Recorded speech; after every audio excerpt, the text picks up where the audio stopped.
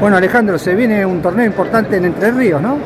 Así es Gaby, este, tenemos, estamos promocionando acá en la 29 Expo todo lo que es la fiesta del Dorado, la 29 edición del Dorado Entrerriano en La Paz, Entre Ríos. Este, para contarles eh, a todos los amigos pescadores que el día 30 de septiembre damos inicio con la que es la fiesta de señuelo, ¿sí? con todo lo que es bay y el día sábado continuamos con lo que es todo que es fry, o sea mosca y carnada.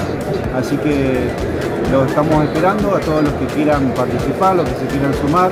Estamos acá hoy y mañana también acá en esta exposición, así que bueno, la verdad con mucha expectativa, ya tenemos casi medio cupo. Este, cabe destacar también que hay un cupo porque este, todo tiene que ver con, los fiscales, estamos usando algo novedoso que es la aplicación PESCAP para todo lo que es el control y fiscalización de piezas, este, para que el pescador se sienta seguro, confortable también eh, y que vaya teniendo minuto a minuto lo que va pasando en la fiesta de pesca mientras se desarrolla el certamen.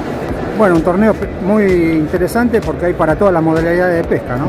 Sí, eh, la verdad que muy interesante, si bien es la 29 edición de la pesca con carnada eh, y es este, la número 16 de pesca este, con mosca o fly y este, la octava de eh.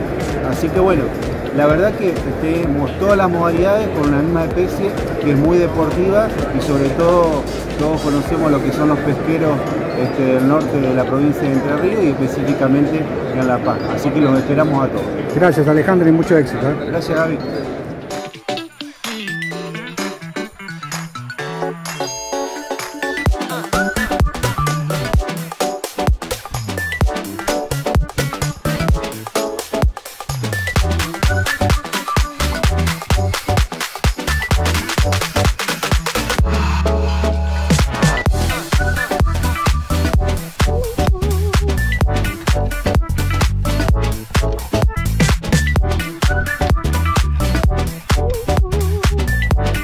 Somos el SC de Entre Ríos de Colón.